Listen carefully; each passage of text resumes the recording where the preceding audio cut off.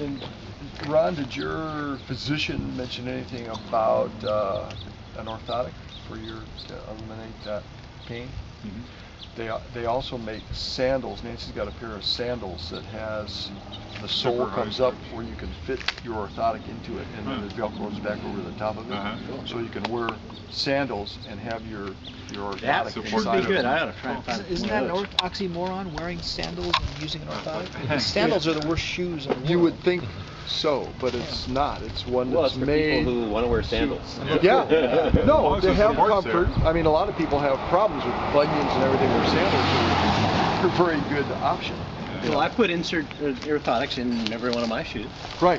Well, uh, what I'm saying is Nance But I don't has have a found a pair of sandals, a company that makes it specifically to do that. So you would have Good the orthotic in there.